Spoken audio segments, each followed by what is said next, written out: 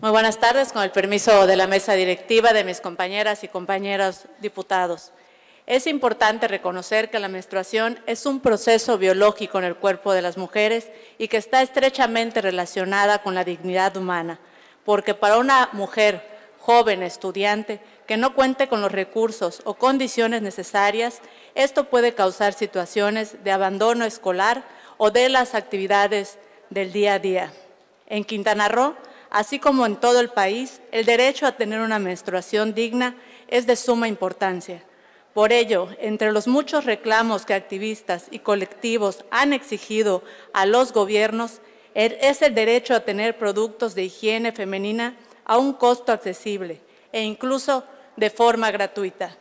Los tabús sociales y los estereotipos de género estigmatizan a la menstruación como algo sucio, por lo que muchas mujeres, sobre todo las más jóvenes, experimentan el menstruar con vergüenza, ya que no tienen acceso a los recursos necesarios para manejar su salud menstrual de manera segura.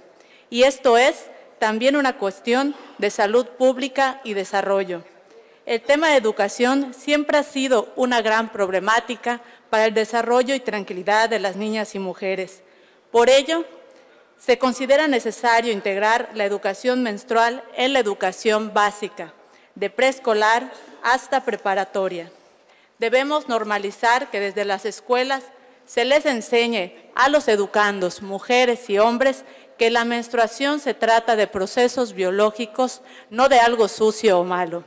Hoy, como mujer activista y diputada, presento esta iniciativa para afrontar la pobreza menstrual e incluir en los planes de estudio la educación menstrual y que se emitan los lineamientos para dotar de, de productos de higiene menstrual en las escuelas las estudiantes de Quintana Roo merecen tener una menstruación digna, en donde desde las escuelas se normalice y se rompan los obstáculos.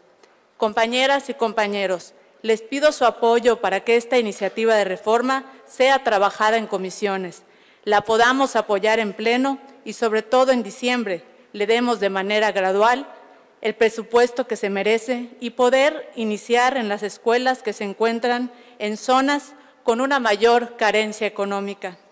Necesitamos ver todas las aristas de la problemática, señalar que es un tema de justicia social y entender que la menstruación no puede permanecer en la penumbra. Estados como Jalisco desde el 2022 cuentan con un presupuesto asignado a la Secretaría de Educación para que se entreguen productos de gestión menstrual en escuelas públicas. Michoacán, Aguascalientes, Colima, Tamaulipas, Oaxaca, Puebla, Morelos, Yucatán y recientemente Baja California también ya, aprobaron en sus congresos dignificar a las estudiantes a través de esta medida de dotar de forma gratuita productos para la higiene menstrual. Estoy comprometida con todas y cada una de las mujeres de Quintana Roo y seguiré creando políticas públicas desde este Congreso e impulsándolas hasta que sean ley. Es cuanto. Muchas gracias.